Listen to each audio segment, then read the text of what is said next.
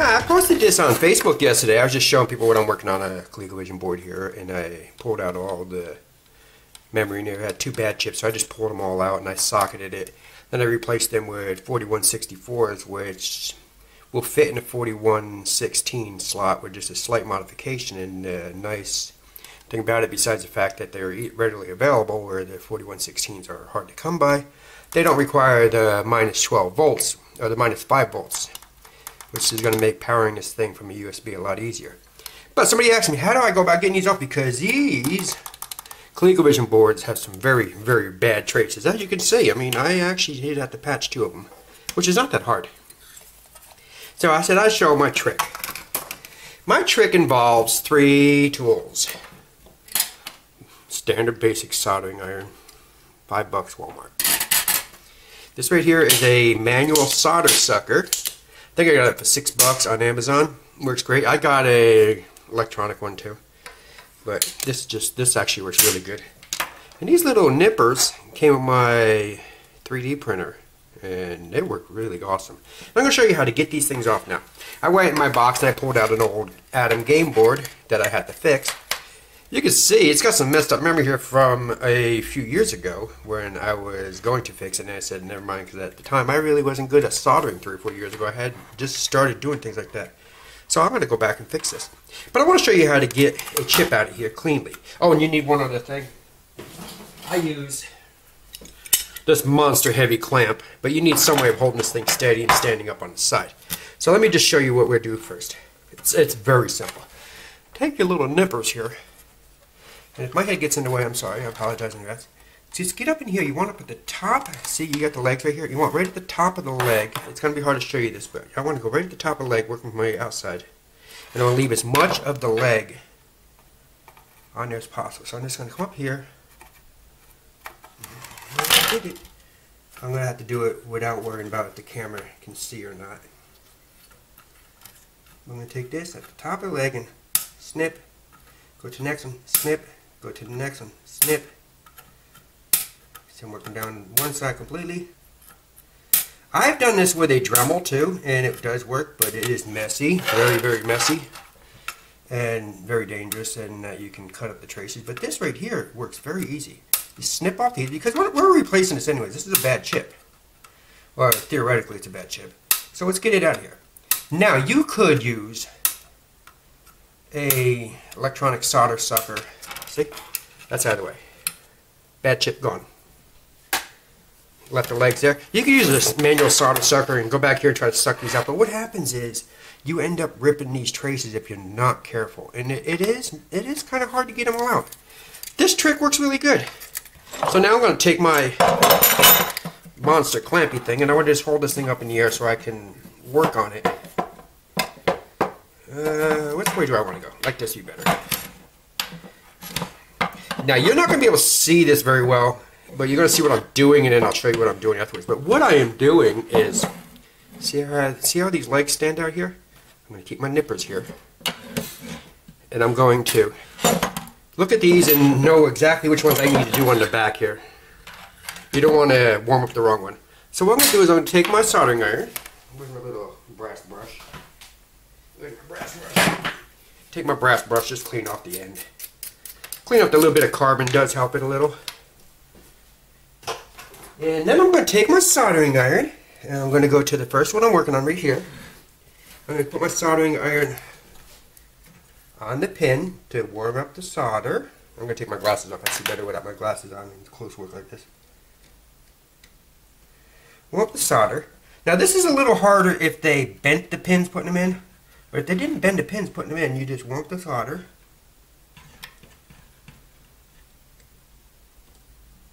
Until, come on.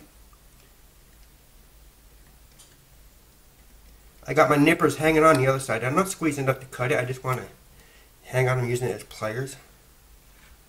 I think my soldering iron is hot enough yet.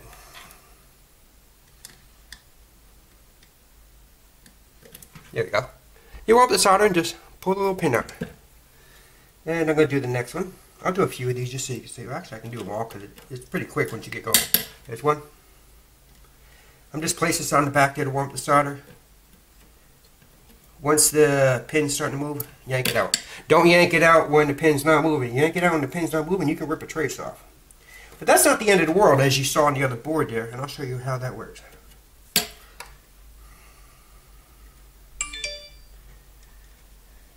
I got a pollen alert. Guess I'm gonna have to start taking my medication again. See, this is a lot easier because I'm not sucking any of the solder out yet. You'll see that I will do that, but I'm gonna just keep doing this. Get all these out. Come on. Almost got that side done. There's three left on that side.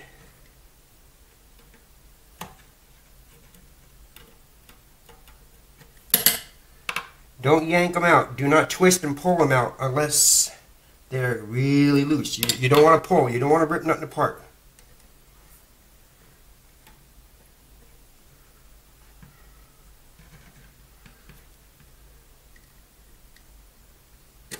Yeah, come on.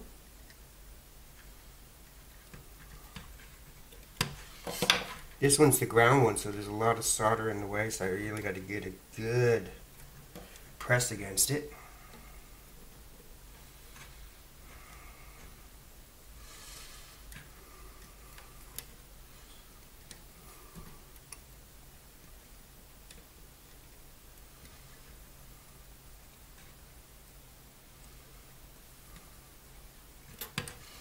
Almost.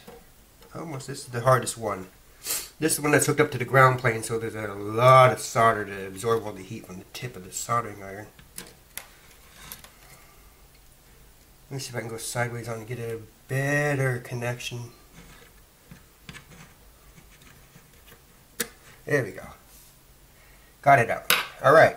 So I did one line down. I'm going to do the other line too because I just want to show you how to completely clean when you're done.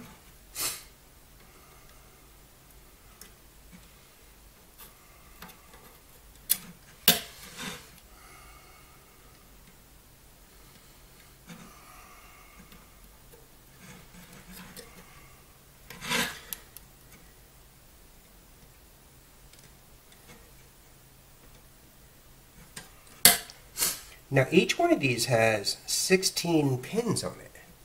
So yesterday I did 8 of them, so I did 128 pins I had to do like this. So it takes a while, but it's the clean way of doing it.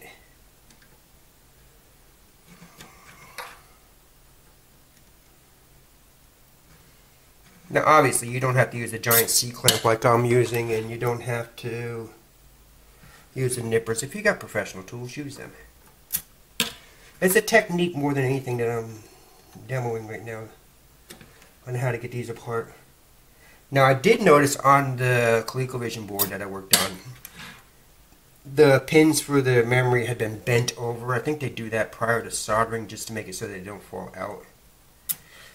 So those you may have to maneuver a little to get them out. Now I got all the pins out, so I'm done with this.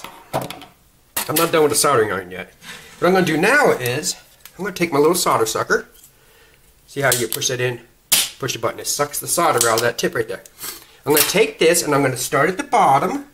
I'm going to work my way up one side and work my way up the other.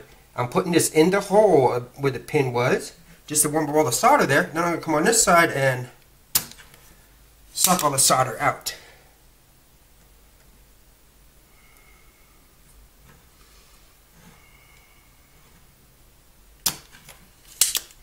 And once I see I got daylight there, I go to the next one. And I keep work my way up each side. I had some stuff on the table yesterday to stop this clamp from sliding around. It made it a little easier than it is right now. But I with the person next that I explained to him how, and I, I was going to just type it up in Facebook trying to type something up like that is like useless. So I figured, you know what, I better just take the time and write it up. Where am I at?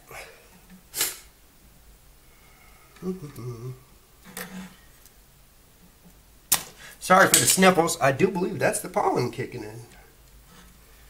I'm going to have to go back on my allergy medication for a while.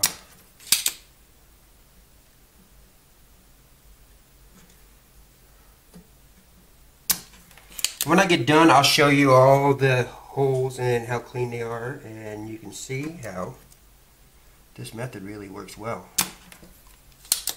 Okay, one side done, one other side. Now what I'm doing with the soldering iron is I'm just placing it in the hole. I'm not trying to drill it out or anything. I'm just placing the hole so it heats up all the solder. This one ground plane is going to be difficult. I can see that right now.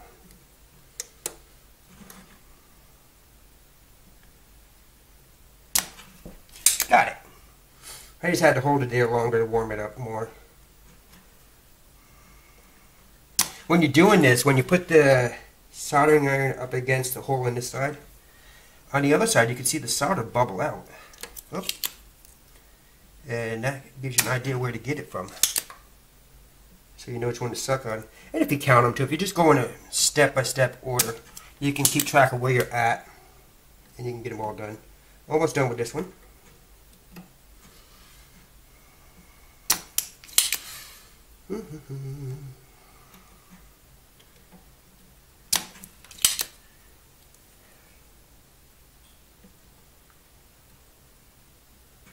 My soldering iron is starting to build up some carbon on it. It's taking longer to heat up. But I'm almost done with this.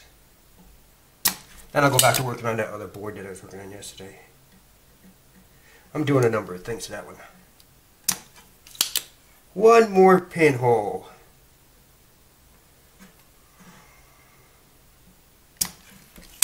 Hmm, a little bit more on that one.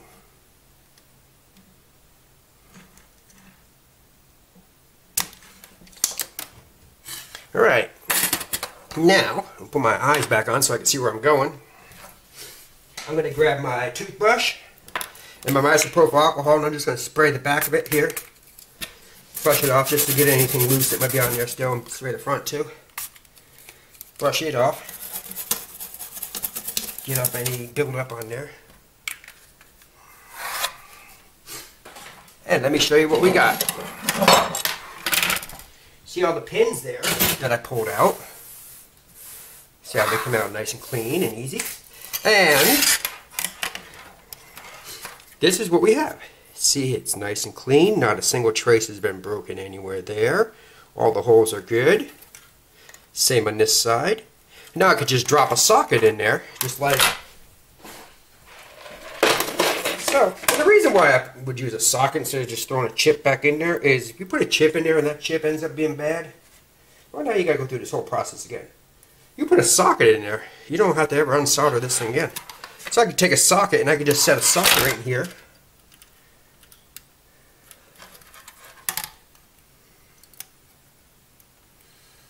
line up the legs. The legs going too little. Occasionally, when you're trying to put sockets in, you might get one hole that needs to be warmed up. It's got a little bit of solder still in it that didn't want to come out. But you can see, what I would do in this case here is most of them are in. There's one hole that's not going in. On this side, I can see it right there, that hole. Actually, let me just see if I can get that one cleaned out one more time. That's the third one down. Let's just see what I can do here. Can I do it without using the... No, hang on. I want to clean that third hole out. What I was going to say is you can take your soldering iron and warm that hole up while you're pushing in the socket and make it get in there. But I'm going to just do this now because I'm not actually working on this board right now. So I don't want to leave a socket just hanging in there. So once it get in here, yeah it goes. There, I got it out there. Now the socket should go right in, no problem. There's a little lip of solder, maybe it, maybe it like seeped over after I was done and it, it cooled off and closed the hole up. But now if I just take the socket, it should be able to just drop it right in the hole. Yeah, like that. See, socket's in the hole, solder in place, done. No trace is broken. Now, just so you know, if you broke a trace. Let's say I replace all 80 of these, like I did with the other one. And I, when I'm done, I want to test to make sure they all work. Remember, every one of these chips is exactly the same. So without it being powered up or anything, you get a continuity meter, or any, even, even a multimeter with continuity on it. And if you just take your continuity meter, and you just go from, I'm going to go from like over here. You go from, say I'm on, well even here maybe I can get it. This pin here, this pin here should connect to that pin. It's doing it without being soldered. It's not soldered in so the connection's not good. But when you do it, this pin here, you should be able to test that one, test that one, test that one, and every one the exact same pin. If they don't connect, you got broken continuity, and you do for all 16 of them. And any of them that you don't have don't have continuity on, like I didn't on this board right here, I had two pins that didn't work out. I just jumpered the pin to the next one over, the pin to the next one over. Now you don't want to do this with the data pin, so watch your, look at your printout. Look at your printout. You don't want to do this with, uh, da, da, da, where is it? Where is it? 4116. Which one is which? Here, here. You don't want to do it with data in and data out. So the pin, those two pins right there, you don't want to do them because they are different. So those you may have to chase down. Just try to get lucky and you don't have to worry about that one. But every other pin, all the address lines are going to be exactly the same on every one of them. All the write lines, all the CAS, all the voltage, all of them are going to be the same. So you can jumper as needed if you break a trace. Or if you if you don't want to do that, if you did, or if you did do data in or data out, you could chase down where it's at. Like say it was, uh, it's hard to see in here, but just say for instance that trace got broken. Well, just follow it back to see where the trace goes back here somewhere, and just jumper from it to there. You're just going to fix that. If you can't fix the trace itself, just avoid the trace and go to where the trace goes. Don't go past it. I mean, if it goes up into something and back out, you don't want to go past it. You want to just go from it to where the trace goes. But that's it. It's not hard to do. Pull the chip out. If you just take your time, you can pull the chip out. You can cleanly put another one back in there and works perfect. Have a good day.